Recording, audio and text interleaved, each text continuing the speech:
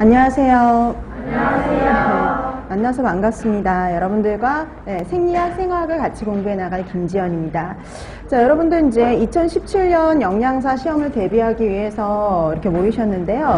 이 2017년 시험이 여러분 이제 작년하고 이제 달라진 것은 다들 알고 계시죠? 그러니까 과목은 달라진 게 없어요. 근데 문항수가 좀 달라지고, 그다음에 이제 별개로 각각으로 나오던 과목들이 합쳐져서 이제 나오는 어, 그런 경우가 생겼는데요. 그러니까 작년보다 작년에 이제 300점 만점이었다면 이제 여러분들은 200 20점 만점이에요. 그 다음에 근데 나머지는 다 똑같아요. 60% 이상을 맞으면 합격이에요. 네, 60% 이상. 그 다음에 이제 모든 과목이 과락입니다. 그래서 모든 과목이 과락이기 때문에 어, 전 과목을 40% 이상은, 최소 40% 이상은 맞아야 돼요. 근데 항상 보면은 과락 때문에 떨어지기보다는 대체적으로는 점수가 미달이 되어서 떨어지는 경우 거의 대다수라 보시면 되고요. 그 다음에 뭐 과락 때문에 떨어지는 근건 이제 경우는 조금 이제 드물다라고 생각을 하시면 돼요. 그래서 그러니까 뭐 각과목당 40% 이상이니까 60점 60점짜리에 40%면 24점이거든요. 그래서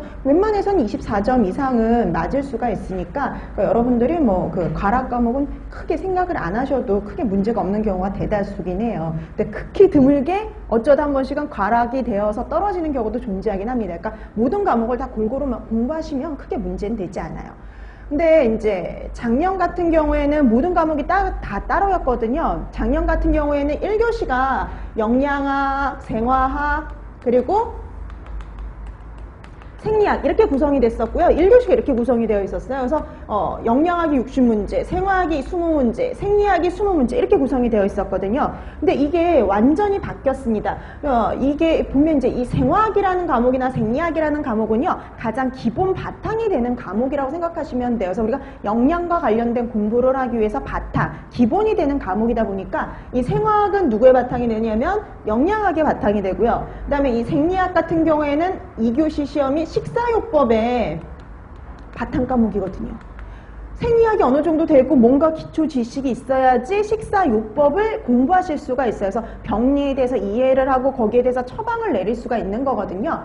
그래서 이번에 이렇게 합쳐진 거예요. 그래서 영양학과 생학이 합쳐지고 생리학과 식사요법이 합쳐졌다라고 보시면 돼요. 그래서 1교시 시험 과목 여러분 아시죠? 영양, 1교시 시험 과목이요. 영양학 및 생, 어, 생화학이에요. 영양학 및 생화학이 60문항, 60문제.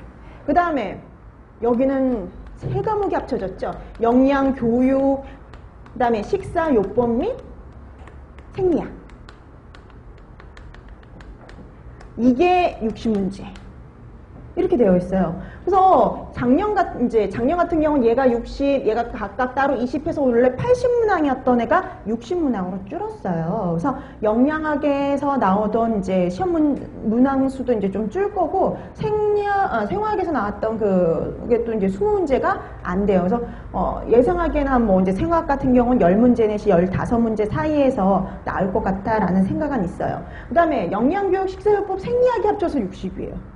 예전에는 이게 20, 이게 20, 이게 아마 식사요법이 50이었을 거예요. 근데 이게 60문항으로 줄었죠. 이런 식으로 줄었어요. 그래서 요게 1교시만 120점 만점입니다. 그 다음에 이제 2교시는 이제 나머지 과목들이라 보시면 되고 얘는 이제 100점 만점이에요. 그래서, 그래서 총 220점 만점인데 여러분들 항상 보면은 이게 120 문항이라고 해서 120분을 주지 않아요. 그래서 여러분들도 확인하셨는지 모르겠지만 1교시는 100분입니다. 100분. 그러니까 여러분 120문항을 100, 이제 100분 동안 다 풀고 풀고 그다음에 이제 답안 작성도 하고 확인도 하고 그럴 정도의 시간 여유가 주어지게 문제가 나오려면 문항이 아주 길거나 아주 어렵거나 하는 경우에는 극히 드물다라고 보시면 돼요.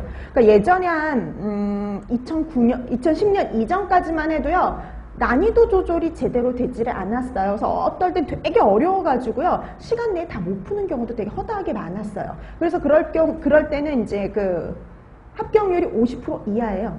예. 2009년 이하에는요, 50%그 합격률이 50% 이하인 경우가 종종 존재, 종종, 종종 있었어요. 왜냐면 간혹가다 이제 난이도 조절에 실패를 해서 아주 어렵게 나오니까 시간 내에 다 못 풀죠. 왜냐면 항상 주어진 시